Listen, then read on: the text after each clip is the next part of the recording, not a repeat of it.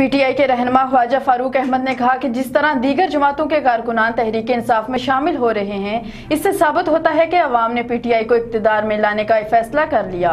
PTI city में मज़बूत होती जा रही है। तहरीक इंसाफ पाकिस्तान के मरकजी जॉइंट सेक्रेटरी ख्वाजा फारूक अहमद ने मुस्लिम लीग नून और पीपल्स पार्टी सिटी मुजफ्फराबाद के मुतद मकामी रहनुमाओं, कारकुनों की अपनी अपनी जमातों से अलादगी और पी टी आई में शमूलियत के ऐलान का खैर मकदम करते हुए कहा कि जिस तरह आए रोज पी टी आई में सियासी कारकुन शामिल हो रहे हैं, इससे साबित होता है की आवाम ने पी टी आई को बरसरे इकतदार लाने का फैसला कर लिया है। उन्होंने नए शामिल होने वाले कारकुनों को मुबारकबाद देते हुए कहा की आपकी शमूलियत से P T I city Muzaffarabad में सियासी तौर पर मज़बूत होती जा रही है। दो हज़ार ग्यारह से दो हज़ार सोलह में मुस्लिम लीग नून और पी पी दोनों ने आपसे दारुल हुकूमत की तरक्की, बेरोजगारी के हाथ में मौसर मज़बूत एहतसाब, तहरीक आज़ादी कश्मीर के लिए मुस्बत इकदाम और दारुल हुकूमत को एक मॉडल सिटी बनाने के नाम पर वोट हासिल किए। लेकिन बरसर इकतदार आने के बाद दोनों हुकूमतों का पूरा ज़ोर अपने बैंक बैलेंस भरने, प्लाजा की तमीर गैर मुल्की दौरे करने और मुजफ्फराबाद शहर को खंडरात में तब्दील करने पर ही रहा। पी टी आई आपको यकीन दिलाती है की मौसर एहतसाब के निज़ाम के साथ साथ दारुल हुकूमत में खर्च होने वाले अरबों रुपए का हिसाब लिया जाएगा। ये कहाँ खर्च हुए?